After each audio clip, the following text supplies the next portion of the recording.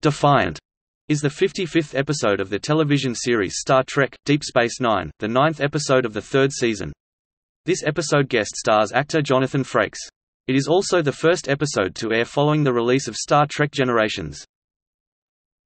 The episode explores the fictional Cardassian aliens of the Star Trek franchise, and their relationship with the Federation, and has a significant number of scenes that take place on the USS Defiant, the new kid on the block spacecraft stationed at Deep Space Nine space station near Bajor and a wormhole.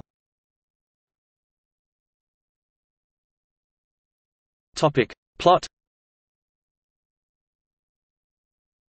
William T. Riker arrives on Deep Space Nine and proceeds to charm the crew, especially Major Kira. She takes him on a tour of the station and its new ship, the Defiant.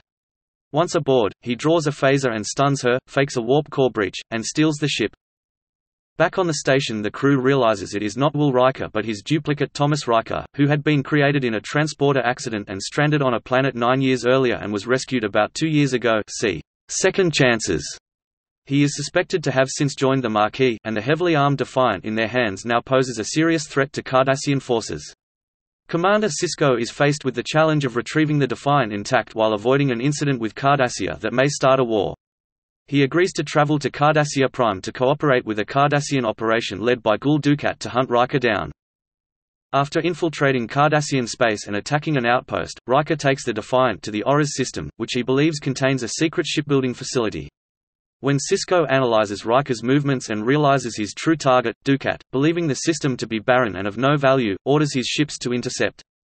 His Obsidian Order observer Korinas, however, warns him that any ship, Cardassian or otherwise, that approaches the system will be destroyed. The Defiant manages to outrun its pursuers into the Orias system, but is confronted by several more Cardassian ships appearing from the system itself. On Cardassia, Dukat's displays show the ships as well. Suspicious, Dukat confronts Korinas, stating that because they are not under the control of the Cardassian military, they must belong to the Obsidian Order, despite the fact that they are strictly forbidden from possessing military equipment of any kind.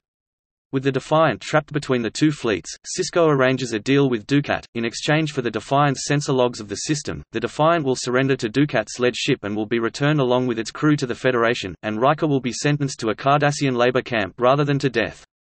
Kira persuades Riker to accept the terms. The opposing ships approach the Defiant and its Cardassian escorts, but abort the confrontation and return to the Orias system. Riker beams to the Cardassian ship, leaving Kira in control to return to the station.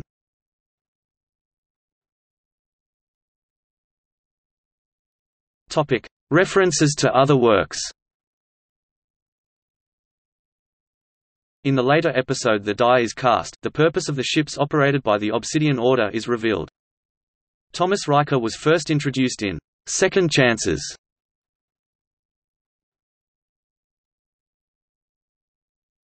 Topic. See also. The Wounded Star Trek The Next Generation broadcast January 28, 1991 USS Defiant. Topic. External links Defiant on IMDb. Defiant at TV.com. Defiant at Memory Alpha, a Star Trek wiki.